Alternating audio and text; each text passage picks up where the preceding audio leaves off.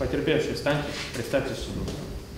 Цыганов Филипп Ишханович, 2000 года рождения. Это не судебное заседание и даже не фрагмент программы «Час суда». В этой аудитории проходит практическое занятие будущих юристов. Здесь они и за прокурора, и за судью, и даже за подсудимых и потерпевших. В Саратовской государственной юридической академии делают ставку на получение практических навыков, ведь выпускникам одной теории при трудоустройстве не обойтись, тем более, когда дело касается будущих сотрудников правоохранительных органов. Сегодня в любой правоохранительной структуре есть э, кадровая нехватка. Мы пошли таким путем, чтобы наши студенты получали не только теоретические знания от наших уважаемых профессоров, кандидатов наук, докторов наук, но и применяли свои знания на практике. Именно для этого мы привлекаем э, всех прокурорских работников, всех работников суда, чтобы они здесь э, объяснили не только теоретическую составляющую любого да, предмета, любой дисциплины, но и рассказывали, как это работает на практике. Из зала суда в криминалистическую лабораторию. Здесь научат собирать и исследовать улики, правильно оформлять место преступления, а также составлять гипотезы по обнаруженным фактам.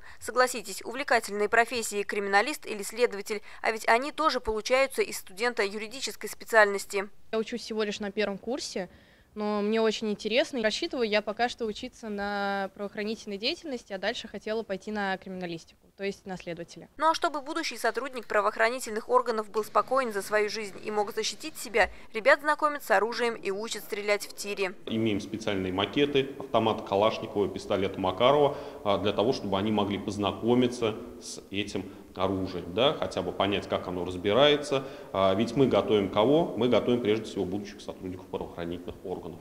Саратовская государственная юридическая академия – социально ориентированный вуз, где студенты могут получать хорошие стипендии, размер которых зависит от успеваемости, активности и участия в жизни академии. Если не хватает баллов на обучение на бюджетной основе, то можно получить профессию по договору, причем в этом случае можно рассчитывать на существенные скидки. Для некоторых категорий абитуриентов предусмотрены льготы при поступлении. У нас предусмотрены бюджетные места.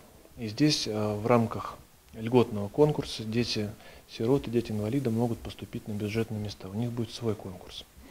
А, кроме того, у нас есть очень четкое, хорошее положение о предоставлении скидок. С ГЮА получить профессию юридической направленности можно как после 11, так и после 9 класса, а также в качестве второго высшего образования. Статистика показывает, что выпускники Саратовской юридической академии а, по большей своей части да, они успешно трудоустраиваются и работают в правоохранительных структурах. Э, на это рассчитана специфика всего учебного процесса. У выпускников школ сейчас самая напряженная пора. Осталось всего чуть-чуть и придется шагнуть на новую ступень своего образования. И именно от этого шага зависит вся дальнейшая жизнь. СГИУА – это академия с большой историей, Балаковский филиал которой работает в нашем городе уже более 20 лет.